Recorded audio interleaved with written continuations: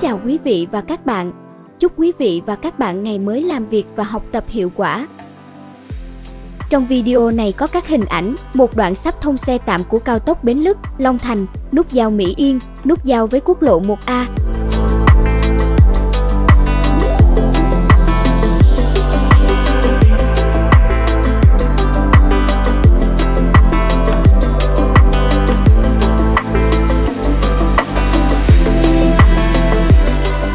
Sau 10 năm thi công và gặp nhiều khó khăn, vướng mắt, mới đây VEC đã đề xuất Cục Đường bộ Việt Nam về việc phê duyệt phương án tổ chức giao thông để khai thác tạm hai đoạn thuộc cao tốc Bến Lức, Long Thành trong tháng 11, 2024. Đoạn một từ nút giao cao tốc thành phố Hồ Chí Minh, Trung Lương đến quốc lộ 1, dài 3,4 km, đoạn 2 từ nút giao Phước An đến nút giao quốc lộ 51. Việc đưa hai đoạn cao tốc đã hoàn thành vào khai thác là cột mốc quan trọng cho dự án trọng điểm này. Đây là dự án nối các tỉnh miền Đông Nam Bộ với miền Tây.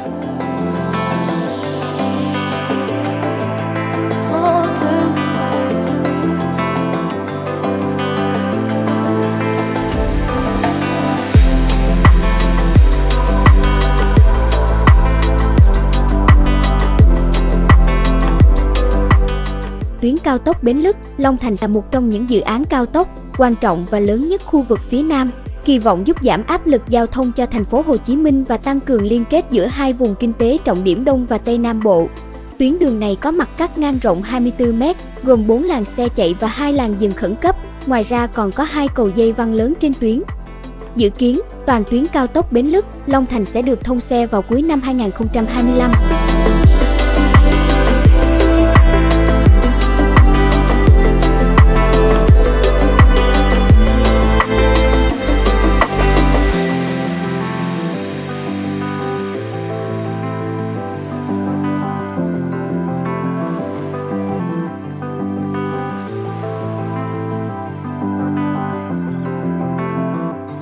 Đoạn nối cao tốc Bến Lức Long Thành và cao tốc Trung Lương, nút giao Mỹ Yên đã dần hoàn thiện. Các hạng mục hạ tầng phụ trợ như cầu vượt, lan can an toàn, đèn đường đang được xây dựng khẩn trương, có thể thông xe vào tháng 11 này.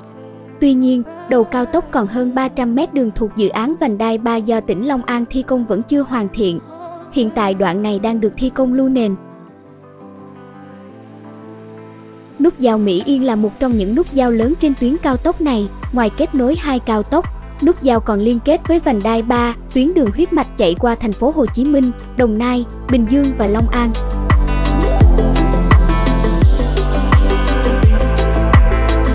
Cao tốc Bến Lức, Long Thành được khởi công năm 2014 và phải tạm dừng vào năm 2019 do gặp nhiều khó khăn, đến giữa năm 2023 mới được tái khởi động. Với tổng chiều dài 57,1 km, cao tốc Bến Lức, Long Thành có vai trò quan trọng trong việc kết nối các tỉnh thành từ miền Tây đến các tỉnh miền Đông, tạo ra mạng lưới giao thông liên vùng. Việc khai thác tạm đoạn cao tốc này giúp giảm áp lực giao thông cho nút giao Bình Thuận, điểm cuối của cao tốc thành phố Hồ Chí Minh, Trung Lương.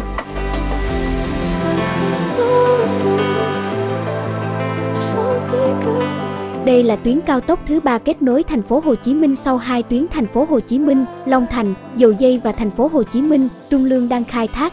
Ngoài ra cao tốc này còn là một phần của đường vành đai 3 thành phố Hồ Chí Minh. Tại nút giao với quốc lộ 1, nhà thầu đã hoàn thành thi công vòng xoay và đường dân sinh hai bên.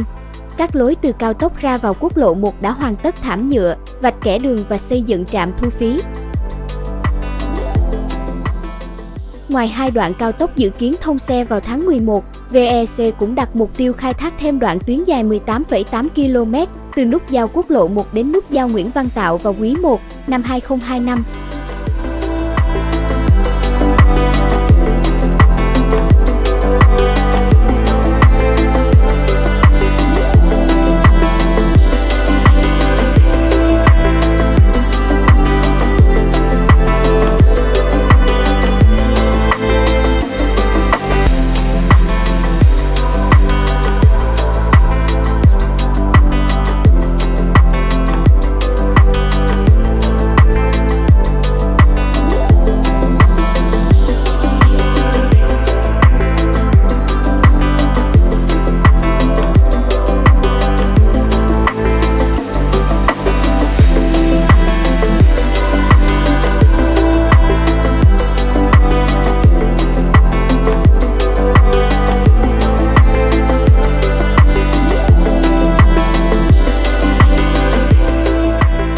Ơn quý vị và các bạn đã theo dõi video. Hãy đăng ký kênh và bình luận góp ý phía bên dưới để kênh làm tốt hơn trong các video tiếp theo.